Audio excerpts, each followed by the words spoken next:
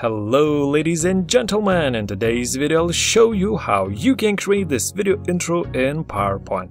The style of this intro was inspired by the MKB HD. Let's go!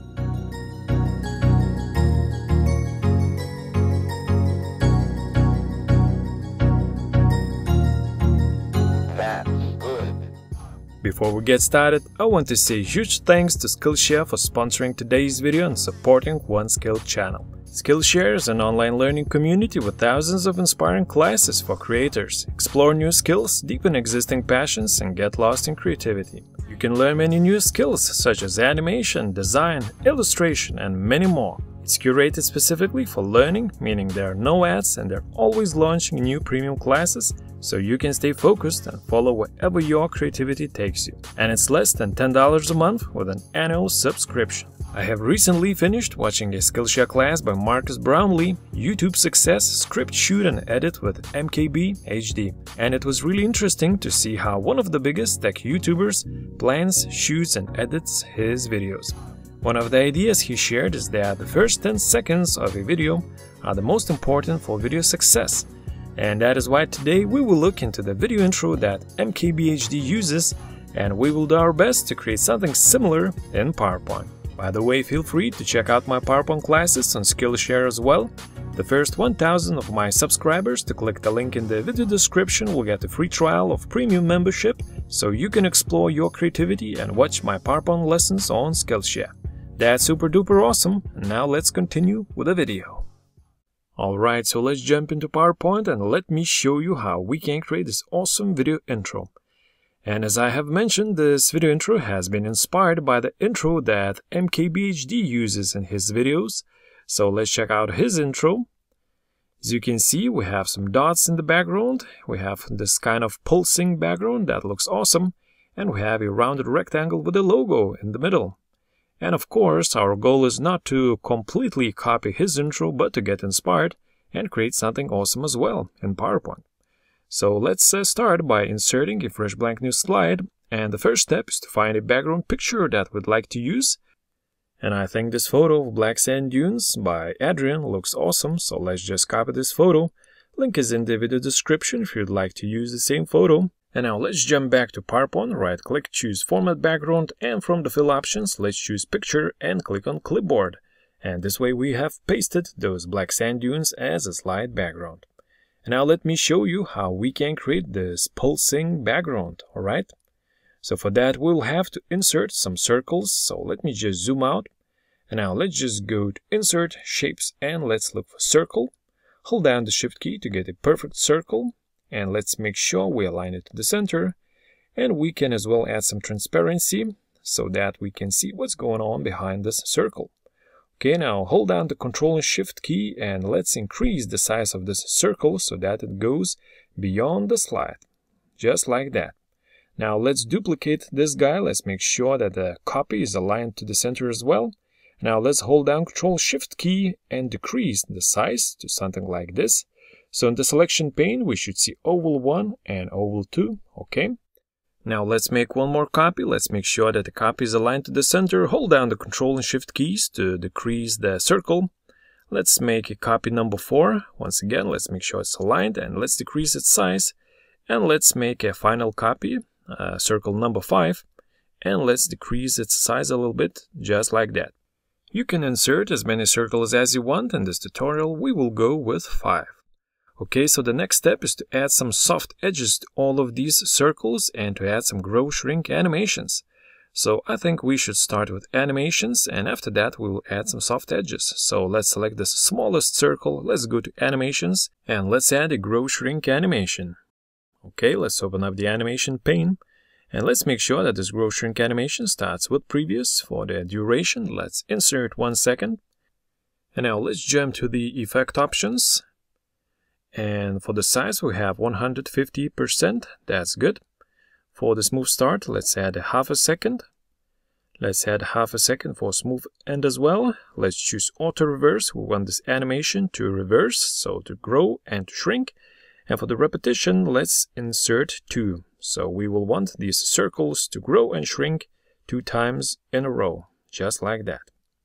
Okay, so the animation has been added to this smallest circle. Now we can double click on the animation painter and paste the same animation to the rest of these circles. Easy peasy, lemon squeezy. So let's check out the results so far. As you can see, all of these circles are growing and shrinking at the same time. So let's add a little bit of delay for all of these animations. For oval 4, I'm using 0.1, oval 3, 0.2, oval 2, 0.3, and oval 1, 0.4. And now let's check out the animations, and as we can see, we have a little bit of delay between all of these circles. That's awesome. Okay, so now we can select while holding down the shift key all of these circles and now let's add some soft edges. Let's go to shape effects, click soft edges and let's choose 50 points. And now a really important step, let's set the fill of all of these circles to slide background fill. Now all of these circles are using the background photo as their fill, okay? And now we can check out how the animations are looking on the full screen. Now we get this awesome pulsing black sand dunes animation. Alright, so the background is ready, and now we can continue with the logo animation. Now let's go to Insert Shapes and let's look for Rounded Rectangle, and let's draw a nice rounded rectangle. Let's make it 10 centimeters by 10 centimeters. Let's align it to the center of the slide. Let's remove the outline. And for the fill, let's use the eyedropper tool and let's pick this dark gray color. So our rectangle is not completely black, but has this beautiful dark gray color. That's awesome. So the next thing, we have to add some shadows to our rectangle. So as you can see, we have one white shadow and one black shadow. So this is a similar look that MKBHD has in his intro videos. Okay, so let's select rectangle. Let's go to shadow options and let's choose this one called bottom right. For the color, let's use black. For the transparency, let's use uh, 0%. For the blur, let's insert 80 points, angle 45, and for the distance, let's insert 70 points. And this is how the rectangle looks right now, looking good. Now we have to insert a white shadow at the opposite side. And because we cannot insert two shadows for the same object, we have to duplicate this rectangle. Now let's make sure that we align both of these guys. Alright, so for the second rectangle, let's insert a new angle, 225, so that it sits on the opposite side. That's good. For the color, let's choose white, and let's make this white color less intense by increasing the transparency to 80%. That's looking beautiful. We can jump into the selection pane and rename these rectangles so that we can better see which uh, rectangle is which. Alright, and now is the time to insert your logo. So to save some time, I'll just use the logo I have used in my previous slide. So these are just two text boxes and an icon of a diamond. So let me copy these guys right here.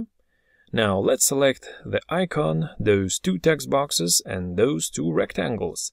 And let's group all of these guys into one group. Let's just hit Ctrl G to group.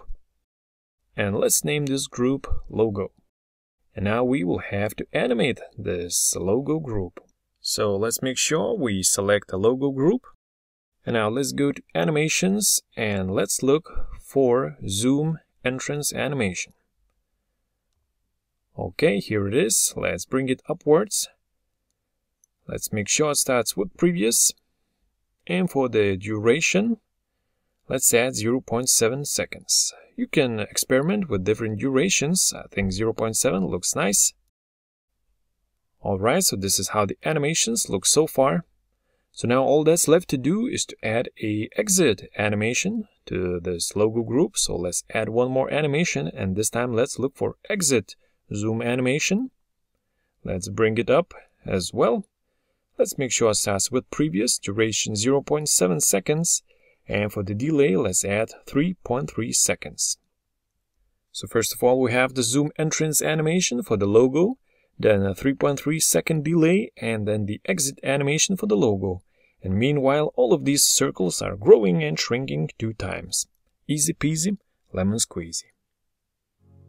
Alright, so let's check it out on the full screen. Congratulations, ladies and gentlemen, now you know how you can create this awesome video intro in PowerPoint.